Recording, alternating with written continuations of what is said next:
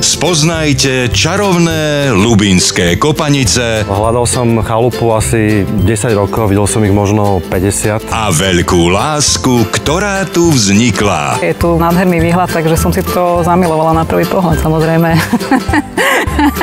Bol tu šarmantný hostiteľ. Na chalupe v nedeľu o 16.50 na Jojke.